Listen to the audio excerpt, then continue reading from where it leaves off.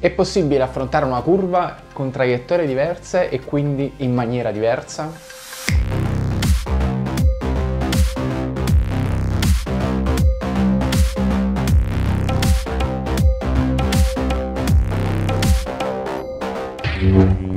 Al pneumatico, come a qualsiasi altro oggetto fisico, vengono applicate due forze, ovvero la forza di gravità che spinge il corpo verso il basso, massa per accelerazione di gravità, e una normale che spinge verso l'alto. Per chi non è pratico di fisica, questa forza normale sarà difficile da immaginare. Spieghiamola con un esempio pratico, semplicissimo.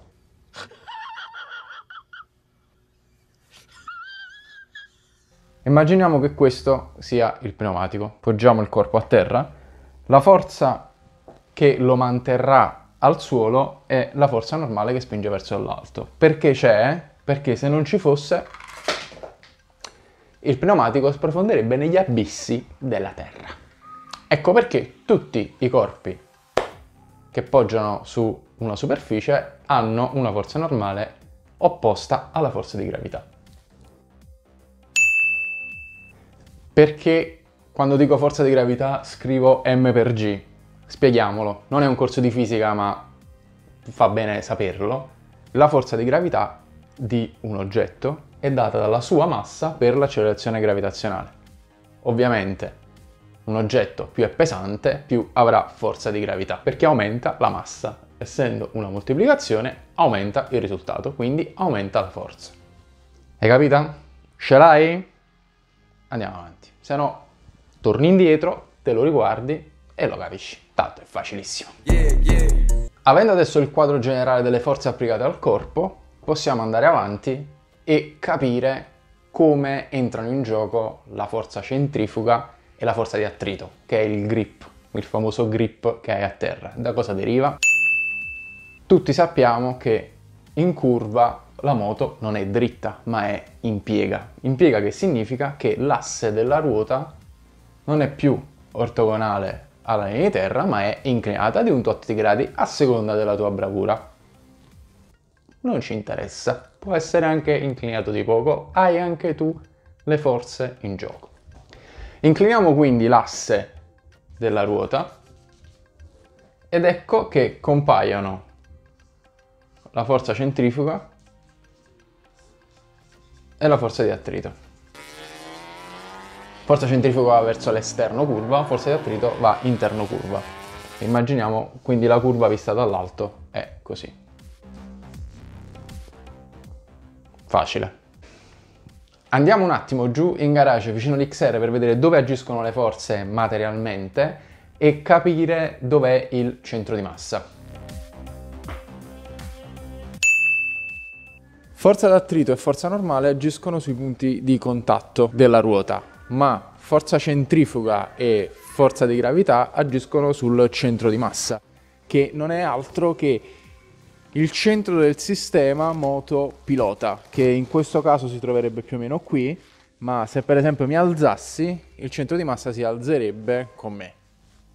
Ecco il nostro Daft Punk in moto. Capito cos'è il centro di massa? Quindi che non è nient'altro che il punto medio tra i pesi in gioco, in questo caso moto e pilota, quindi bene o male il centro di massa è sulla moto perché la moto è più pesante del pilota sicuramente, possiamo applicare le forze nel punto giusto. Forza di gravità, forza centrifuga applicata al centro di massa, forza normale, forza di attrito applicata al punto di contatto della gomma. Adesso sappiamo perché la moto deve piegare per andare in curva e non rimanere dritta, perché se rimanesse dritta forza di gravità e forza normale si andrebbero a sovrapporre, in questo modo scomparirebbero e mm, l'effetto sarebbe questo. Eccoci quindi al motivo per cui tutti state guardando questo video, non mentite, per andare veloce in curva. Allora, primo argomento da trattare è senz'altro la traiettoria.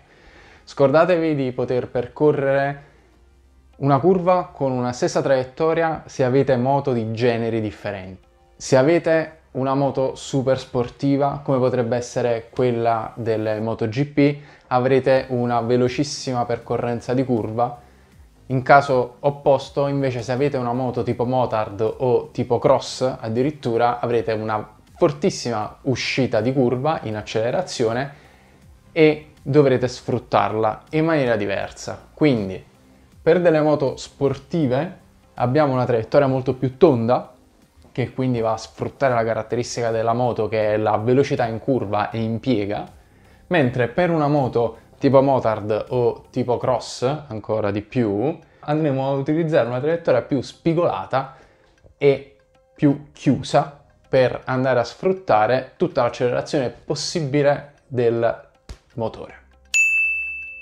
L'accelerazione centrifuga, che è quella che ci interessa per andare forte in curva e veloce in curva, ha questa formula. L'unica cosa che possiamo aumentare è la forza di attrito. Per aumentare la forza di attrito dovremmo controbilanciare e aumentare la forza di gravità. Ma come si aumenta la forza di gravità? Come abbiamo visto prima, la forza di gravità comprende due componenti. L'accelerazione di gravità, che non la si può cambiare, se la riuscite a cambiare ben venga, siete Dio. L'altra cosa da poter eh, cambiare e aumentare è la massa. Ci sono vari modi per aumentare la massa. Si può mangiare tantissimo prima di una curva, tirare su una zavorrina prima della curva e quindi aumentare la massa, oppure avere il budget della MotoGP, della Ducati per progettare per montare tutte le rette aerodinamiche e aumentare il carico, ma ovviamente la soluzione più semplice è quella di spostare il peso all'interno della curva per aumentare la leva e aumentare così il nostro peso e di conseguenza la forza di attrito. Ecco quindi che abbiamo trovato la soluzione per aumentare la nostra velocità in curva, ovvero spostare il peso all'interno della curva. Ma perché questo tipo di guida non è consigliabile su strada o comunque nelle situazioni normali. Immaginiamoci di incontrare un ostacolo per strada, che può essere una lastra di ghiaccio, che può essere una buca per strada. Ecco che quindi la perdita di aderenza, ovvero la perdita di forza di attrito, ci fa perdere anche forza centrifuga e questa situazione non è delle migliori.